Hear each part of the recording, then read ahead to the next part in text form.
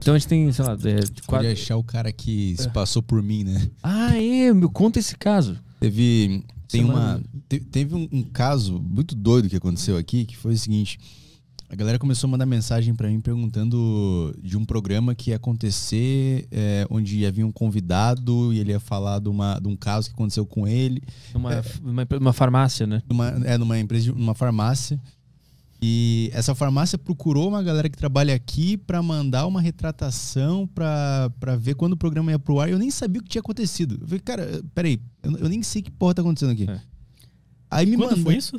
Foi, Recentemente. foi em dezembro. É, foi no ano passado. Tá. É, aí, o, aí, o, aí eu falei, cara, eu não entendi o que tá acontecendo aqui. Me mandaram um texto, um e-mail que, que eles receberam, essa, essa farmácia, que é uma rede bem grande aqui no Brasil. A farmácia mandou um e-mail aqui pro Studios Flow, né? É, mandou e-mail de- pro, pro Studios Flow pra, pra gente estar tá ligado do que tava acontecendo. Porque eu falei, cara, eu não sei o que tá acontecendo. Era um cara se passando por mim. É, Em uma rede social ou num telefone? um- E-mail. era um e-mail. Foi um e-mail, ok. Ele fez um e-mail com o meu nome, Caio Delacqua. Ele fez de outra forma lá, mas ele criou Caio Delacqua. Falou: é o seguinte, eu trabalho num podcast tal. Isso é o e-mail que ele manda pros caras. Eu trabalho num podcast tal, com 400 mil inscritos, não sei o quê, não sei o quê, não sei o quê. Eu tô aqui com um cara que, que sofreu abuso psicológico e sexual e, enquanto ele trabalhava em tal unidade, em tal estado do Brasil. E ele vai numa deriva tal dia. Ele, ele vai na deriva tal dia e, e, tipo, foi meio que extorquindo os caras, assim. Eles fingiram que o produtor da deriva estava entrando em contato com essa grande Entendi. rede de farmácias É. pra explicar que isso ia E é por isso que a farmácia tentou em contato É. com vocês, acreditando que fosse você. Isso. Isso. Tá. E aí, aí a gente, quando a gente descobriu o golpe, a gente ficou conversando, ah, vamos, vamos atrás do cara, vamos acionar judicialmente. Mas a preguiça sempre impera, né? Mas que dá pra fazer alguma coisa nesse caso? Dá, dá pra identificar a pessoa, dá. Mas de cara, que que, assim, ó, veja, como eu falei, 4.500 casos, né? Então quando a pessoa vem e me conta o caso, eu já olho, eu já sei pra onde já meio ir. O cara que criou, se passou por você, é um ex-funcionário da farmácia.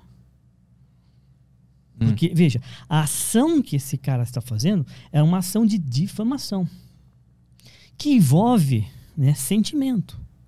Ele não, não é dinheiro, ele quis tacar um puta de um susto nos caras da farmácia. Ah, Então, é, é passional o que ele fez.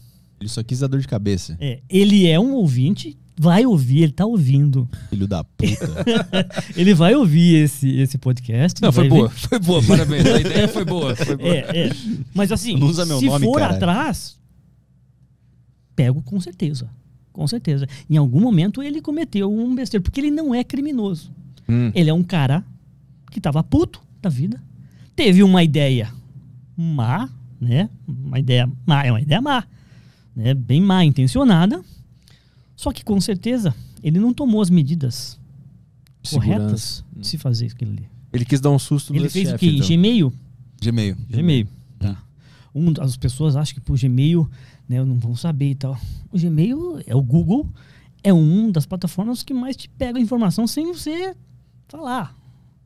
Entendeu? Então a pessoa, ah, mas eu fiz isso de uma lan house, que eu fiz isso de um, de um outro. Tem lan house, mas tem, né? Uhum. Eu fiz de um telefone celular que eu peguei o chip e não deve ter feito isso.